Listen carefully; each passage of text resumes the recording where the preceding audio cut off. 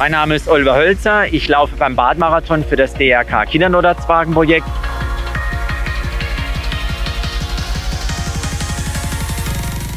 Das Kindernotarztwagensystem in Karlsruhe ist eine Ergänzung vom professionellen Rettungsdienst. Ein ganz kleines Beispiel dafür ist diese Blutdruckmanschette.